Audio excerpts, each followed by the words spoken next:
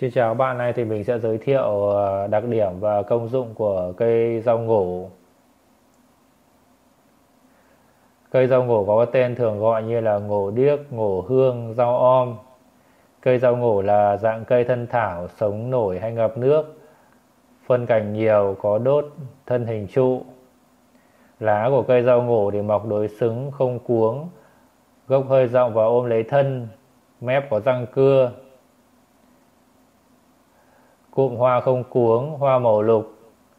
Cây ra hoa từ tháng 11, tháng 12 cho đến tháng 4 của năm sau. Các bạn nhìn hình ảnh ở trên video để nhận biết uh, cây rau ngổ tránh nhầm lẫn với các cây khác. Sau đây thì mình sẽ hướng dẫn các bạn uh, sử dụng cây rau ngổ để điều trị.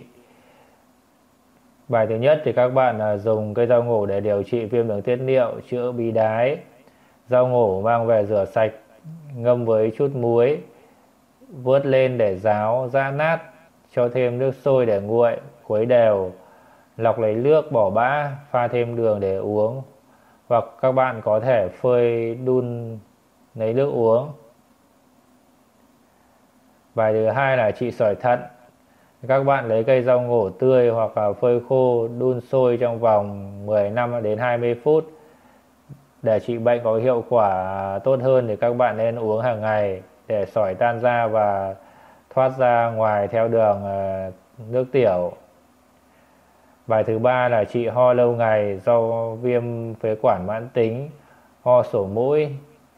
Các bạn lấy cây rau ngổ rửa sạch, dạ nhuyễn, vớt lấy nước, cốt thêm vài hạt muối uống liên tục trong khoảng 10 ngày.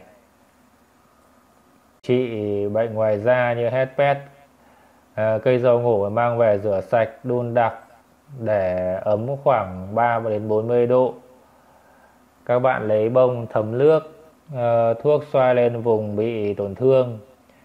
Chà vừa phải cho nước ngấm vào bên trong vùng da bị tổn thương.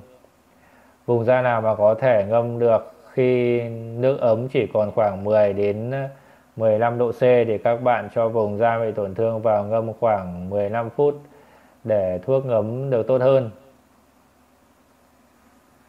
Cảm ơn các bạn đã dành thời gian theo dõi video. Các bạn nhớ đăng ký kênh và chia sẻ kênh giúp mình.